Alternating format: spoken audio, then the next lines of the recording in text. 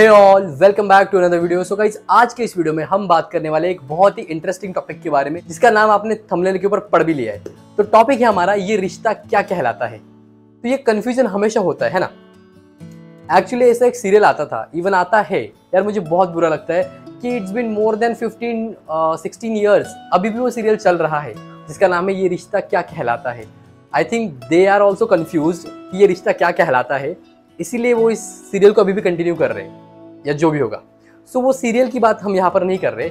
मैं बात कर रहा हूँ असल ज़िंदगी में जब हमारे साथ ऐसा होता है जब हम खुद कंफ्यूज हो जाते हैं कि ये रिश्ता क्या कहलाता है तब उस टाइम पे क्या करना चाहिए? ऐसा होता है ना काफ़ी बार कि आप किसी के साथ फ्रेंडशिप में हो आप किसी के साथ रिलेशनशिप में हो या आप किसी के साथ प्यार में हो या आपको कोई पसंद है या कोई क्रश है या कुछ भी है for that matter and you are too confuse कि भैया ये है क्या? मुझे समझ नहीं आ रहा है। It's been so long that we are here हम दोनों है साथ में बट मुझे नहीं समझ में आ रहा है, ये रिश्ता क्या कहलाता है? क्या ये सच में दोस्ती है? क्या ये सच में प्यार है या क्या ये सच में रिलेशनशिप है? क्या तुम मुझे सच में पसंद हो या क्या है ये? वॉट इज़ दिस कब तक कन्फ्यूज़ रहोगे? ज़िंदगी में कुछ ना कुछ तो करना है, कुछ ना कुछ तो बनना है। या एक सवाल को लेकर के बैठोगे इन शॉर्ट मैं ये कहने की कोशिश कर रहा हूँ कि हम कंफ्यूज काफ़ी हो जाते कि हमें समझ में ही नहीं आता है कि मैं यहाँ पर क्यों हूँ? मेरी एग्जिस्टेंस क्या है? इस रिलेशनशिप में, इस फ्रेंडशिप में या सो कॉल्ड किसी भी शिप में मैं क्यों हूँ?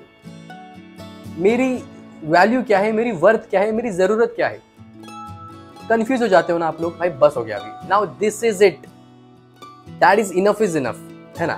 बस। इससे ज़्यादा मेरे को बैर नहीं करना है। तो एक लेवल आता है आपका, जब आपको फील होता है कि बस अभी बहुत हो गया। अब इससे ज़्यादा मैं बैर नहीं कर सकता, नहीं कर सकती। तो उस टाइम पे जाके बोलो अगले को। सबसे पहले तो मैं आपको कुछ टिप देना चाहूँगा इस, यहाँ तक पहुँचने के लिए। क्या करो, अगर ऐसा है आपकी लाइफ में कि आप अगले के साथ किसी भी सो कॉल्ड शिप में हो, सारे शिप आप समझ जाना। रिलेशनशिप फ्रेंडशिप ये शिप वो शिप या कोई भी शिप में हो या सिचुएशनशिप में हो, उस टाइम में आप सबसे पहले ये समझो कि you should give your best पहले अपना बेस्ट दे दो, उसके बाद अगर आपके हिसाब से, यानी आपके हिसाब से मतलब सही रिज़ल्ट नहीं आता है तो जब आपको सही रिज़ल्ट नहीं आ रहा है, उस टाइम पे चीज़ों को छोड़ दो। बिकॉज़ कोई भी रिलेशनशिप ले लो for that matter it is like a water वो पानी की तरह रहता है। जितना भी उसको पकड़ने की कोशिश करोगे ना, वो छूट जाएगा। तो don't try to you know capture any kind of relationship और don't try to make it bounded towards anything किसी भी रिलेशनशिप को। आप बाँध के रखने की कोशिश मत करो कि नहीं नहीं यार, तुम सिर्फ़ मेरे हो, तुम सिर्फ़ मेरी हो, वगैरह वगैरह वगैरह। ये ट्राई मत करो। It will lead to unending conflict तो उसकी वजह से कॉन्फ्लिक्ट होने ही होने अगर आप किसी भी रिलेशनशिप को पकड़ने की कोशिश करोगे तो तो वो मत करो, वो नहीं करना है हमें। You should give your best पहले अपना बेस्ट दो हंड्रेड परसेंट दो, जितना दे सकते हो दो। अगला, ये समझ जाए कि यार, उसने अपने एंड से पूरा कर दिया है, उसने अपने एंड से सौ परसेंट दे दिया। उसके बाद भी अगर चीज़ें वर्कआउट नहीं होती है देन लीव इट छोड़ दो, तब कुछ मत करो। बट इसके बाद भी अगर वो पर्सन वापस आके तुम्हें कुछ कहता है तो उस टाइम पे उसको पूछो, ये रिश्ता क्या कहलाता है? तब वो आपको बताएगा, ये रिश्ता क्या कहलाता है। ओके? फिर भी नहीं बताता है तो उसको बोलो कि दिस इज़ इट अब पानी सर के ऊपर चला गया है। अब मेरे को नहीं समझ आ रहा है भैया, तुम चाहते क्या हो मेरे से? बोलो जाके। ये बोलना बहुत ज़रूरी है। हाँ बट ये बोलने के लिए ऐसे नहीं कि भैया आप आठ दिन से जान रहे हो किसी को, आठ पंद्रह दिन हो गए यू आर कन्फ्यूज़ और फिर आप जाके बोलो it is not going to work out ऐसा होना, होने नहीं वाला। ये चीज़ें वर्क नहीं करेगी। You should give a certain time और उसमें आप अपने आप में काफ़ी चेंज लेकर के आए। आपने बहुत कुछ सीखा। आप गलत थे काफ़ी जगह पे। वहाँ पे आपने सुधारा। अपने आप को ग्रो किया। जो भी आपके अंदर लूप होल्स थे, उन्हें आपने ओवरकम किया। जो भी आपकी गलतियाँ थी, उन्हें आपने एक्सेप्ट किया। आपने उन्हें, उनसे सीखा। उन्हें दोहराया नहीं। जब ये सब आप कर लोगे, तब जा करके आप कह सकते हो, मेरे अंदर भी तो काफ़ी लूप होल्स थे। काफ़ी कमियाँ थी, जिनको ओवरकम करके मैं यहाँ तक आया हूँ। And it's been so long now अब बहुत टाइम हो चुका है। अब स्टिल मुझे नहीं समझ आ रहा है। तो मुझे बताओ, ये रिश्ता क्या कहलाता है? फिर अगर अगला आपको बताता है ये रिश्ता क्या कहलाता है सो वेल एंड गुड नहीं बताता है। सो उस टाइम पे जाकर के उसको छोड़ दो। किसी के भी पीछे अपना कटवाने की ज़रूरत नहीं है। बिकॉज़ अब तक आपने जितना किया है ना, वो बहुत ज़्यादा है। अगर आपने एक सर्टन टाइम लगाया है तो अगर आपने अपने अंदर काफ़ी चेंजेस करे हैं तो ये बहुत ज़्यादा है। इससे आगे कुछ करने की ज़रूरत नहीं है।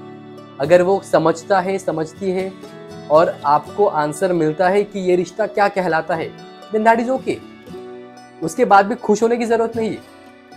समझो ध्यान से, यहाँ पर आकर के भी अगर आपको आंसर मिल गया कि ये रिश्ता क्या कहलाता है तो आपको खुश होने की ज़रूरत नहीं अरे वाह, बढ़िया, मैं तो यही चाहता था, हो गया। या फिर अगर वो जो आंसर आता है, वो आपके फेवर में नहीं है। तब भी आपको दुखी होने की ज़रूरत नहीं है।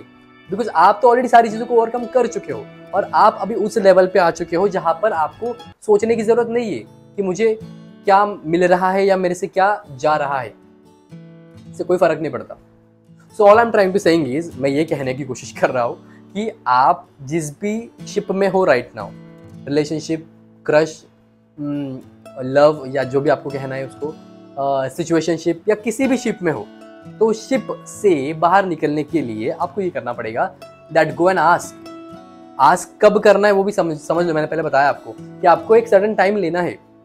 तभी तो कंफ्यूज हो ना। कल, परसों या दो चार दिन की बात है, तब आप कैसे कंफ्यूज हो गए तब तो नया नया एकदम। But when you took a long time in that particular ship फिर वो कोई भी शिप हो, और वहाँ पे जाके आपको फील हो रहा है कि यार ये तो बहुत टाइम हो गया and I am not getting the answer that who am I मैं इस शिप में कहाँ स्टैंड करता हूँ? यानी इस रिलेशनशिप में, इस फ्रेंडशिप में, या वगैरह वगैरह जो भी आप कह रहे हो उस शिप को, उस पर मैं कहाँ स्टैंड करता हूँ? और आपको जब आपकी जगह नहीं मिल रही, आपको नज़र आ रहा है, यार, मैं तो कोई हुई नहीं। तब जाके पूछो कि ये रिश्ता क्या कहलाता है। और तब अगला आपको आंसर देगा। ज़रूर देगा, देना ही पड़ेगा। और अगर नहीं देता है तो शिप से बाहर निकल जाओ। ये ज़रूरी है आपके लिए। आपकी और आपकी हेल्थ के लिए बहुत ज़रूरी है। एंड आई विश कि जिससे भी आप पूछोगे कि भैया ये रिश्ता क्या कहलाता है, वो आपको आंसर देगा और वो आपके यू नो फेवर में होगा। ऐसा मैं विश तो कर रहा हूँ एंड आई बिलीव ऐसा होना चाहिए। और अगर नहीं होता है तो ऐसे पर्सन के पीछे उस शिप में रहने का फ़ायदा ही क्या है?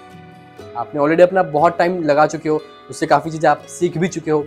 अभी आपको स्थित प्रज्ञ या फिर स्टेबिलिटी भी आ चुकी है।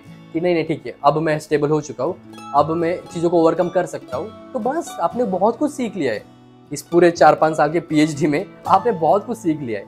आपको और ज़्यादा वहाँ पर एफर्ट्स डालने की ज़रूरत नहीं है। When it becomes a long time then go and ask that ये रिश्ता क्या कहलाता है? फिर वो जो भी रहेगा या रहेगी, आपको बताएगी कि ये रिश्ता ये कहलाता है। बताया तो वेल एंड गुड नहीं बताया तो वहाँ से निकल जाओ। उसको बोले, भाई आई वॉन्ट द आंसर बताओ, ये रिश्ता क्या कहलाता है? ये कहलाता है, या वो कहलाता है, या कुछ नहीं है तो लेट गो करो चीज़ों को।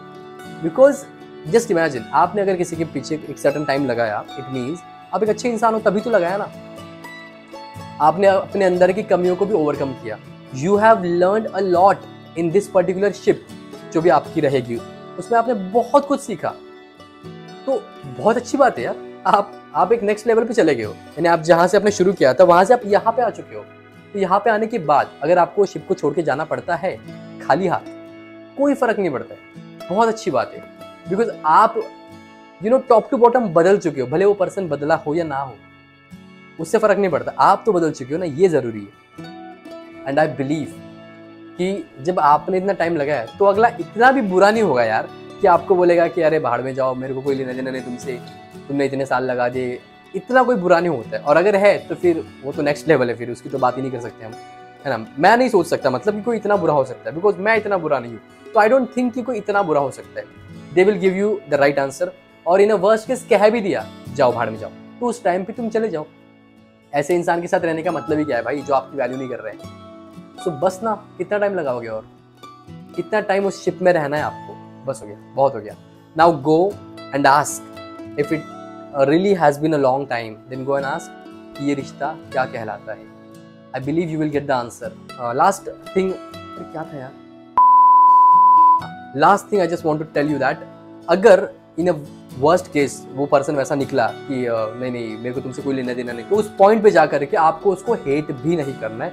And I believe if you are a good person then you will not hate that person या फिर उसके बारे में बुरा नहीं बोलना है। कि अरे यार, मैंने इसके पीछे इतना टाइम लगा दिया और इसने देखो मेरे साथ क्या किया। ये गलत हो जाएगा। फिर आपने जो इतनी मेहनत करी है इतने सालों की और आप जो एक अच्छे इंसान बने हो इवेंचुअली जाके end of the day ultimately जाकर के आप रॉन्ग प्रूफ हो गए ना तो वो मत करो। भले कोई आपके साथ अच्छा हो या बुरा हो इट डजेंट मैटर आपको सबके साथ अच्छा रहना है। That is the important thing so I hope ये चीज़ आपको समझ में आए। आई होप ये टॉपिक आपको समझ में आया अगर इस टॉपिक के थ्रू आपने कुछ भी सीखा हो तो मुझे कमेंट सेक्शन में बताओ। कोई आपके डाउट्स है तो अगेन मुझे कमेंट सेक्शन के अंदर बताओ। एंड बस इस वीडियो को देखने के लिए बहुत बहुत धन्यवाद। इस वीडियो को लाइक करो शेयर करो कमेंट करो चैनल को सब्सक्राइब करो एंड स्टे ट्यून